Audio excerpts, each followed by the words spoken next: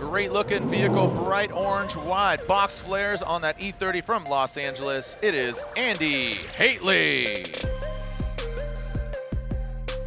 Uh, my name is Andrew Hateley. This is my BMW behind me, my BMW E30. Uh, it's powered by an RHS LS7, and uh, I'm from Los Angeles, California.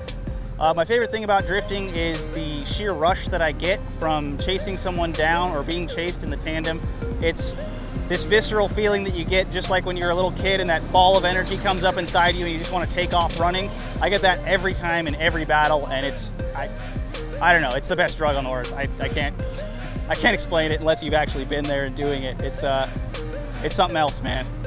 Uh, worst thing about drifting is probably when the car doesn't work and you can't show your driving skill, and you end up uh, basically wasting your driving ability on a car that did not work.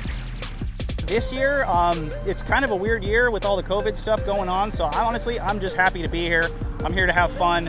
Um, I know that uh, all of our licenses, I believe, are being carried over to the next year. So this is just kind of a, a mess around year and just have fun. And um, if we earn our Pro 1 license, then we'll move on to Pro 1. If we don't, then we'll stick it in Pro 2 and keep uh, having fun in the battles here.